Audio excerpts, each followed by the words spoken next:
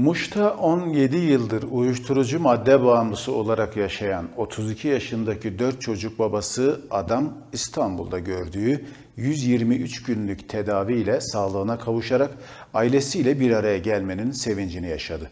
17 yıllık madde bağımlısı genç mutluluğunu şu sözlerle dile getirdi. Ailesiyle Allah 17 yıllık madde bağımlısı genç tedavi olup ailesine kavuştu.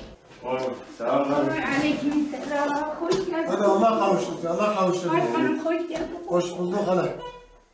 Muş'ta 17 yıldır uyuşturucu madde bağımlısı olarak yaşayan 32 yaşındaki 4 çocuk babası adam İstanbul'da gördüğü 123 günlük tedaviyle sağlığına kavuşarak ailesiyle bir araya gelmenin sevincini yaşadı. Bize bize siz bize sen. 2002'den beri madde bağımlısıyım. Ağlıyordum yani kendi kendime imtihara kalkışmayı düşündüm. Çocuklarımı öldürmeye kalkışmayı düşündüm. Halüsinasyon görüyordum. Yani evimden oldum, çoluk çocuğumdan uyuyordum. Evi terk ediyordum. Gece gelmiyordum. Banyoya giriyordum. Annem gelinine diyordu git bak diyordu. Ölmemiş mi bu? Ölse de kurtular mı? Yeter ki. Yani ölsün ki bilen ki ölmüş yani. Yaşaması bizim için ölümdür. Annem diyordu ben hastayım. Ben diyordum anne niye ben hastasın ki? Benim yüzümden hastasın.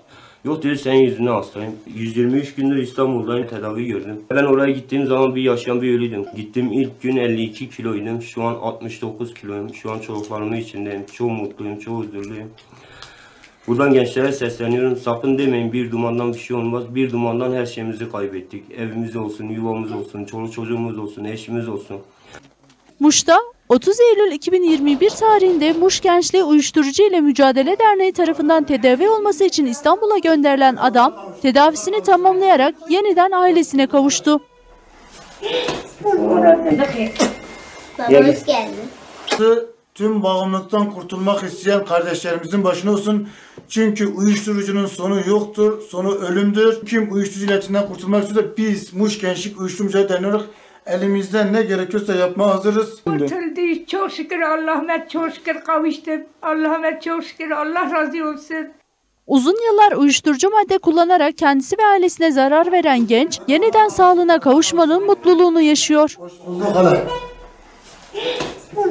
Bakayım. Baba hoş geldin. Bize bize siz bize.